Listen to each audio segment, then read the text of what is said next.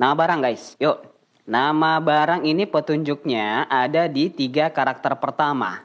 Berarti yang ini, triple satu. Terus, apalagi parameternya? Parameternya mungkin kita coba intip di tabel acuan. Nah, tabel acuan ini ternyata ada kolom nama barang. Apa ini? Ini tabel apa? Vertikal apa horizontal? Vertikal. Jadi rumus apa ini kalau misalnya vertikal?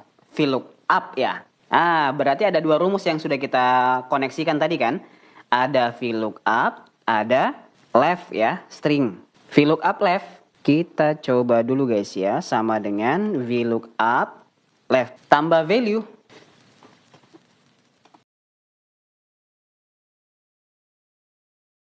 Kenapa pakai VLOOKUP? Karena tabelnya vertikal, satu. Kenapa pakai left? Karena kodenya di kiri yang mau kita ambil, betul, dua. Tapi kenapa ada value?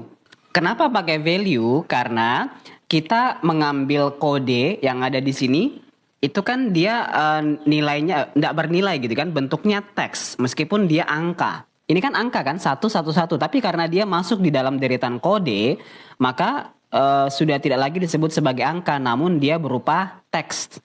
Supaya nanti dia tetap terbaca sebagai value atau bernilai angka maka kita harus tambahkan value di sini. Oke? Okay?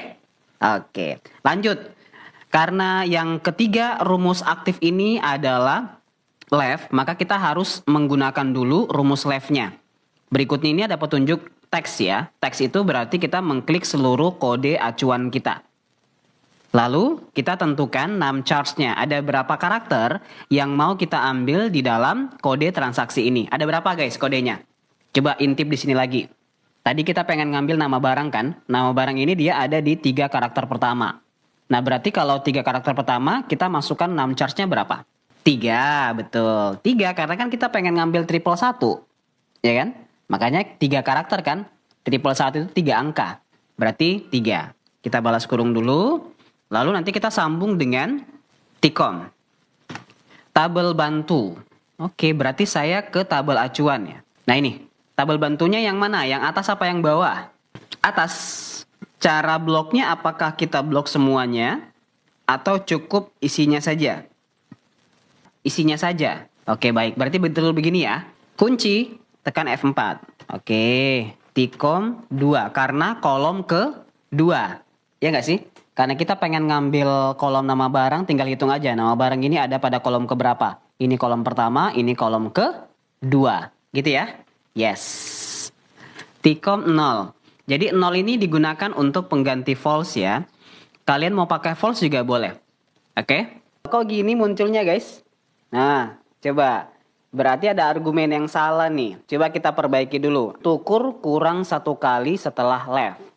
Oh, di sini. Begini. Kita coba dulu guys. Tes dulu ya. Belum tentu juga benar nih. Kita cek dulu kebenarnya di tabel bantu guys. Ini dia kodenya triple satu, nama barangnya manajemen strategi. Cek triple satu, manajemen strategi betul. Satu dua belas akuntansi keuangan. Hmm, betul. Terus tiga dua belas Ramasinta. Betul. Dua satu satu gadget news. Dua satu satu betul.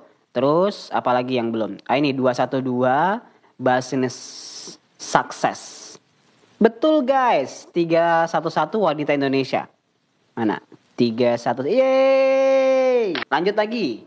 Kita ke harga per unit. Di sini tidak ada ketentuan apa pun yang menyebutkan harus pakai rumus apa dan rumus apa.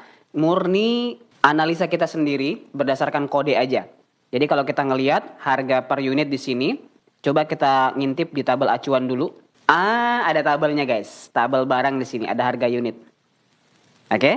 Kayaknya sama deh ya, VLOOKUP juga. Cuman nanti untuk penentuan harganya itu ngambil kode apa gitu. Kopas rumus tadi pak. Oke, okay, boleh. Ya, terus sudah saya kopas ini guys. Apalagi berikutnya. Dua diganti tiga. Oke, berarti yang ini doang nih di ujung. Kita ganti menjadi kolom ketiga. Oke, itu doang guys. Oke, kalau begitu saya enter. Kemudian kita coba cek jawabannya. E, nama barang manajemen strategi harganya 100 ribu. Ah, betul. Akuntansi keuangan 125 ribu. Betul. Ramasinta 45 ribu. Betul. Gadget News 5 ribu. Betul. Basene, Basinis sukses 6000. Betul, wanita Indonesia 40.000. Mana nih? Yeay. Oke, jumlah jual ini nggak ada juga disebutkan guys ya. Di sini ketentuan tidak ada. Di sini kayaknya ada tiga karakter terakhir deh, menentukan banyaknya jual buku yang terjual. Nah, kayaknya ini deh. Berarti yang ini kan 035 yang mau kita ambil. Value right sama dengan value right. Baik, saya klik kode yang ini. Karakter guys? Tiga. Berarti saya harus tambahkan satu tutup kurung dulu ya, supaya bisa enter gini. Ayo, kita pengen memunculkan kolom tipe jual buku yang diisi dengan ketentuan jika kelompok barang adalah buku bacaan. Dan jumlah jualnya sebanyak 20 ke atas. Berarti ada dua nih. Ada dua logikal kan yang kita pakai. Kalau ada dua kondisi yang kita gunakan sekaligus yang menjadi syarat wajibnya, maka kita harus pakai rumus apa? Kita coba dulu ya guys. If and. Terus yang menjadi logikal satu dan logikal duanya mana? Tadi ada disebutkan di situ ya, kelompok barangnya buku bacaan dan jumlah jualnya sebanyak 20 ke atas. Berarti ini kan kelompok barang sama jumlah jual. Berarti ada dua kolom yang kita pakai, kolom barang sama kolom jumlah jual. Yang mana dulu yang kita klik? Kolom kelompok barang. Oke, saya klik ya, kolom kelompok barang. Nih, sudah. Sama dengan petik buku bacaan. Begini ya.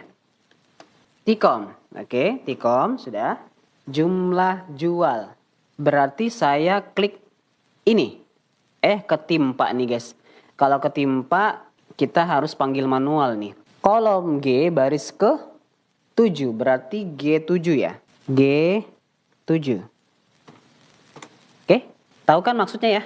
Ini karena sel yang mau kita klik ketimpa sama rumus sehingga tidak memungkinkan kita untuk mengkliknya, kita bisa panggil manual uh, pakai sel name-nya, yaitu kolom G baris ke 7 ya. Lebih dari 20. Lebih dari berarti begini ya. Tanda lebih besar 20. Tukur tikom petik grosir. Dah, jadi kalau saya baca, jika kelompok barangnya adalah buku bacaan dan jumlah jualnya lebih besar 20 maka grosir gitu ya. Sesuai dengan ketentuan yang pertama. Oke. Nah, lanjut ke ketentuan kedua. Kelompok barangnya tabloid dan jumlah jualnya sebanyak 50 ke atas maka tipenya grosir. Kopas if n lagi. Oke, berarti kita kopas yang tadi kan. Ini. Kita kopas aja if-nya sampai ke ujung. Kemudian di sini sebelum kita uh, sambung, tambahkan dulu tanda titik koma ya. Untuk menyambung ke rumus berikutnya baru kita Ctrl V atau paste rumusnya. Yang diganti adalah apa ini? Buku bacaan ya? Ganti ke tabloid. Ya nggak sih? Ganti tabloid. Oke, boleh kita ganti tabloid. Terus untuk jumlah jualnya berapa tadi? Jumlah jualnya 50 ke atas. Kalau 50 ke atas, simbol logikanya apa? Ayo. Berarti tinggal ganti ini ya. Yang ketiga, majalah dan jumlah jual sebanyak 45 ke atas, maka tipenya grosir. Sama mungkin ya, kita kopas rumus lagi. Yang tadi saya saya paste lagi di sini. Nah, tinggal kita ganti aja buku bacaannya tadi kita ganti ke majalah, ya kan?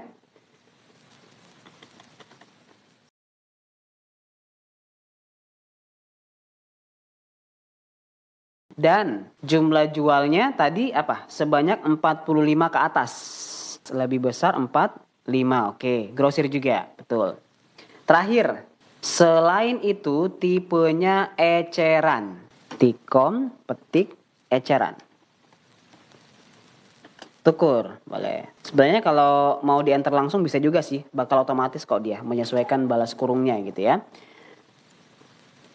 Cara bayar guys, ayo lanjut lagi, fokus. Cara bayar itu satu karakter ke delapan. Berarti yang ini, yang L. L dengan H ya.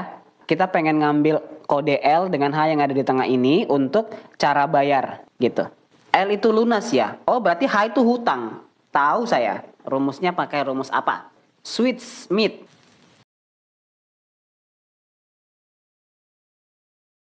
Kita ngambil teksnya dulu berarti. Teks yang tengah ya. Kita klik. Terus titik koma. Uh, hitungan keberapa tuh? 1, 2, 3, 4, 5, 6, 7, 8. Hitungan ke 8. Eh salah. 8. Berapa karakter? 1. Udah, tikom lagi. Tikom petik L. Oke, okay. sudah. Tikom petik lunas. Lunas lunas. Oke. Okay. Tikom petik H. Ha, Tikom. Udah gini aja ya. oke, ini sudah ya guys ya. Nah, oke jawabannya sudah muncul di sini. Kita lanjut ke total guys. Di sini total apa rumusnya? Kalau kita ngelihat dari sini sih ada harga ya. Berarti kan kan nominal gitu kan. Ada harga per unit terus jumlah jualnya berapa. Kayaknya ini kali ini deh. Benar nggak sih? Sama dengan ya harga per unit dikali jumlah jual. Oke. Enter. Nanti dia akan muncul di sini ya totalnya. Betul. Diskon. Guys, diskon gimana nih? Ada tabel acuan di sini kayaknya. Ini ada tabel acuan kita, tabel barang namanya. Nah ini nanti ada kategori diskonnya. Untuk grosir sekian, untuk eceran sekian. Oke, patokannya nanti ada di mana nih? Coba kita lihat. Oh betul. Patokannya nanti itu ada di kode barangnya. Jadi kita pengen ngambil kode barang ya. Berdasarkan kode barang itu nanti grosirnya berapa persen, kemudian ecerannya berapa persen. X look up. Berikutnya apa lagi? Oh ini tipe jualnya. Tipe jual. Oke saya oke saya klik ya. Terus tikom, hmm, tabel bantu. Oke saya ke sebelah. Yang mana yang di blok? Yang tulisan grosir dan eceran. Kunci, ha, lalu tikom, hmm, X lookup lagi ya. Ke worksheet oh, tabel soal. Saya klik ya.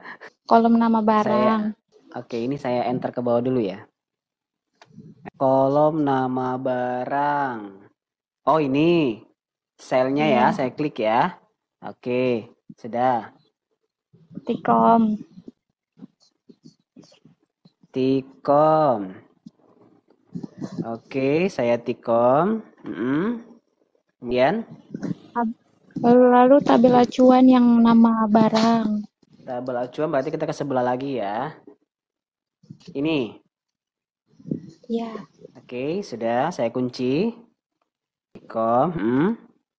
Blok yang mana, Kak? Yang isian dari grosir dan eceran, Pak. Oh, ini. Oke. Ya. Sudah. Saya kunci ya. Oke. Titik koma. Uh, if not found-nya diabaikan berarti kita tambahkan titik koma lagi satu kali ya. Oke. Iya. Tambahkan lagi satu kali baru minus satu exact match. Oke. Iya. Lalu Tutup sudah? kurung. Oke. Sudah. Ini muncul jawabannya. Coba kita cek dulu kebenarannya guys ya. Ini dia 30% ketika dia kode barangnya itu grosir ya. Yang ini. Yang ini apa? Grosir 30% betul ya. Kemudian eceran 312 eceran 8%. Oke, 312 eceran 8% betul ini ya acuannya. Oke, 312 eceran 8% betul. Kemudian apalagi satu lagi deh kita ambil. 311 grosir ini. Itu jawabannya 20%.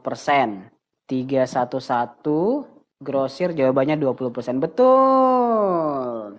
Ini kelihatannya agak panjang karena kita manual ngeblok uh, tabel bantu ke sebelah saya sih nyarankan buat lebih rapinya rumus, kita kasih nama dulu deh. Define name dulu e, sebelah gitu tabel acuannya biar nanti ketika kita mengerjakan nggak bolak-balik rumus e, tanda apa catatannya adalah kalian harus tahu letaknya dulu gitu supaya ketika nanti memanggil di apa cell name-nya atau workbook-nya dipanggil itu kalian tahu gitu kan dan lebih rapi juga kelihatan rumusnya. Contohnya seperti tabel acuan di atas ini. Ya, ini tabel acuan di atas kan dia E4 sampai F4. Berarti yang mana tuh? E4 sampai F4 kan cuma ini doang kan? Nah ini, ini kita bisa kasih nama dulu. Nih blok, kita define name. Alternatif aja ini guys ya. Nggak wajib, tapi kalau kalian mau pakai ini juga boleh. Ini mungkin kita pakai kode apa yang singkat-singkat. Misalnya GR aja. GR. Oke. Nah, di sini nanti dalam rumusnya saya ganti satu-satu ya. Ini tabel acuan kita bisa hapus. Kita langsung ganti dengan GR aja. GR. Nah, itu ada muncul GR. Nah, enter. Dia masih kebaca kok, gitu kan? Nah, kemudian di sini tabel soalnya Nah, itu di situ ya. Nah, ini benar-benar nggak apa-apa. Kita bisa klik aja di situ. Ini kita bisa ulangi. Kita klik saja di sini tabelnya apa sel acuannya di sini E7. Terus tabel acuannya tadi apa itu? C5 sampai C10 ya. C5 sampai C10 coba kita lihat. C5 sampai C10 tadi yang mana? Eh, ini ya kan? Satu kolom ini doang kan? Nah ini kita bisa kasih nama juga biar nanti kita pakai workbook aja gitu. Misalnya NB atau nama barang gitu kan. NB nama barang misal. Nah kita kembali ke sini kita tinggal perbaharui aja tadi tabel bantunya menjadi eh bukan tabel bantu sih kolom apa kolom acuannya gitu kan menjadi NB Nah ini kalau di enter kan juga sama kan, nggak ada merubah ininya. Terus apa lagi? E5 sampai F10. E5 sampai F10. Nah ini, E5 sampai F10 kan yang ini. Ya kan? Nah ini bisa kita kasih nama juga. Misalnya kita kasih nama dis. Oke, okay? dis, diskon. Itu kan singkatan. Lalu di sini kita boleh ganti tabel acuannya menjadi apa? Dis. Nah, tuh muncul dis ya di bawah workbooknya. Kita boleh enter. Nanti hasilnya bakal sama kok, nggak ada perubahan. Cuma nanti enaknya kita ngelihatnya tuh singkat kan, rumusnya nggak panjang kayak tadi. Kolom bayar, ini nggak ada ketentuan juga. Jadi kita diminta menampilkan e, pembayarannya dari keterangan total dan diskon ada to nilai totalnya sekian, diskonnya sekian. Jadi berapa yang harus kita bayar setelah dipotong diskon? Total dikali satu kurang diskon.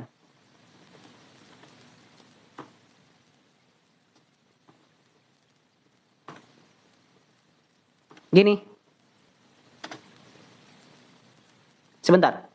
Ini kan satu 100% ya, dikurangi diskonnya kan 30%. Nanti hasil dari dalam kurung tadi 100% dikurangi 30%, nanti dalam kurungnya itu menghasilkan 70%. Berarti di sini seharusnya kalau kita mau cek ya.